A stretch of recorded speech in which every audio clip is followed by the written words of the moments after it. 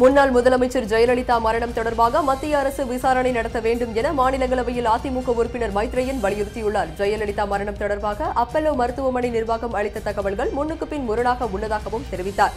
எனவே ஜெயலலிதா மரணம் தொடர்பாக மத்திய அரசு சிபிஐ கொண்டு விசாரணை நடத்த வேண்டும் என்றும் மைத்ரேயன் வலியுறுத்தியுள்ளார்.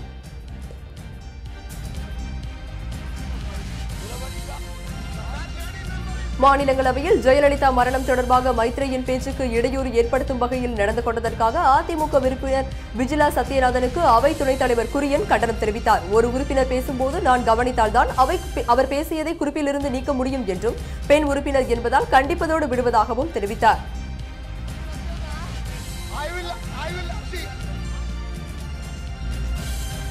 நம்பிக்கை வாக்கெடுப்பு தொடர்பான வழக்கில் சட்டசபை செயலாளர் பதில் மனுவிற்கு திமுக தரப்பில் பதிலளிக்க சென்னை இரண்டு வார கால அவகாசம் வழங்கி உத்தரவு பிறப்பித்துள்ளது. திமுக தரப்பினருக்கும் வீடியோ ஆதாரங்களை வழங்க சட்டசபை செயலாளருக்கு நீதிமன்றம் உத்தரவு பிறப்பித்துள்ளது. மேலும் வழக்கை மார்ச் இருபத்தி ஒன்றாம் தேதிக்கு ஒத்திவைத்து நீதிபதிகள் உத்தரவிட்டனர். ஹைட்ரோ கார்பன் திட்டம் விவசாயிகளுக்கு எதிரானது என்பதால் மத்திய அரசு இந்த திட்டத்தை கைவிட வேண்டும் என மாநிலங்களவையில் திமுக உறுப்பினர் திருச்சி சிவா வலியுறுத்தினார். இந்த திட்டத்திற்கு அதிகமாக தண்ணீர் தேவை என்று கூறிய அவர் ஏற்கனவே தமிழகத்தில் தண்ணீர் தட்டுப்பாடு உள்ளதால் ஹைட்ரோ கார்பன் திட்டத்தை செயல்படுத்த அனுமதிக்க கூடாது எனவும் திட்டத்தை கைவிட வேண்டும் என்றும் திருச்சி சிவா கேட்டுக்கொண்டார்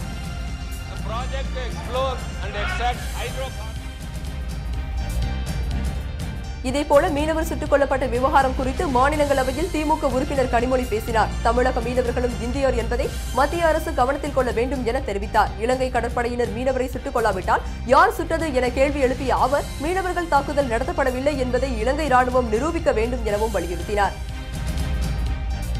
சசிகலா புஷ்பாவை வரும் பதினேழாம் தேதி வரை கைது செய்ய தடை விதித்து உயர்நீதிமன்ற மதுரை கிளை உத்தரவிட்டுள்ளது. பானுமதி என்பவர் அளித்த புகாரின் மீதான கைது நடவடிக்கையை எதிர்த்து ஜாமீன் மனு தாக்கல் செய்தார். மனுவை விசாரித்த நீதிபதி நிஷா பானு பதினேழாம் தேதி வரை கைது நடவடிக்கைக்கு தடை விதித்து உத்தரவிட்டுள்ளார்.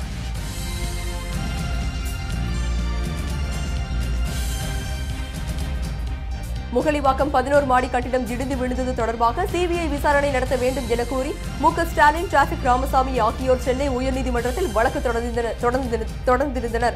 இந்த வழக்கு முதல் அமர்வில் விசாரணைக்கு வந்தது. அப்போது திமுக தரப்பில் ஆஜராகி மூத்த வழக்கறிஞர் பி. வில்சன். இந்த விபத்தில் அறுபதுக்கும் மேற்பட்ட ஆந்திர மாநில கட்டிட தொழிலாளர்கள் பலியாகி உள்ளதாகவும் எனவே இது குறித்து வெளிப்படையான விசாரணை நடத்தப்பட வேண்டும் எனவும் கோரினார். இதனையடுத்து நீதிபதிகள் கட்டிட விபத்து குறித்து இதுவரை நடைபெற்ற விசாரணை குறித்தும் அறிக்கையை சிஎம்டிஏ இரண்டு மாதத்தில் தாக்கல் செய்ய உத்தரவிட்டார். வழக்கு ஜூன் முதல் வாரத்திற்கு ஒத்திவைக்கப்பட்டது.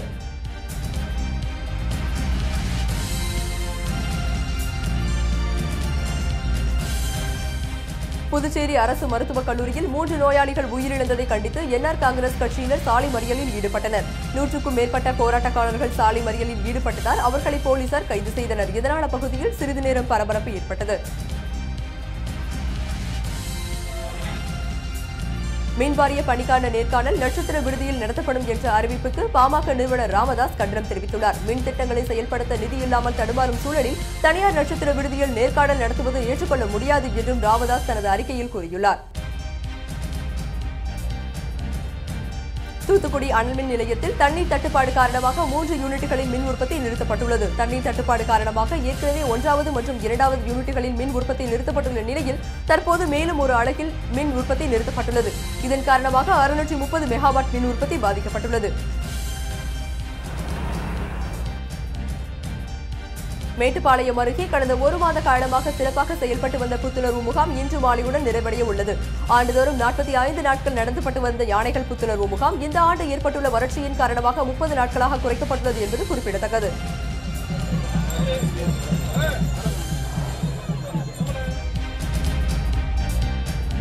சென்னையில் நடைபெற்ற பயிற்சி ராணுவ வீரர்களின் ஒருங்கிணைந்த சாகச நிகழ்ச்சியை ஏராளமான பார்வையாளர்கள் ஆர்வமுடன் கண்டு ரசித்தனர்.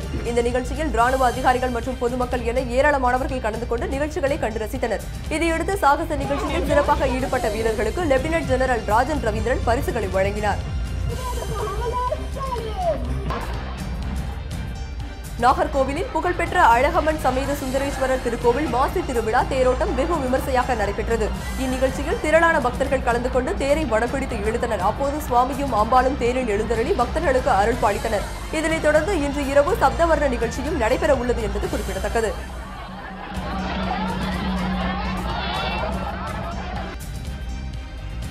பணிபுரியும் பெண்களுக்கு பிரசவ கால விடுப்பை அதிகரிக்கும் மசோதா உறுப்பினர்களின் ஆதரவோடு நாடாளுமன்றத்தில் நிறைவேறியது.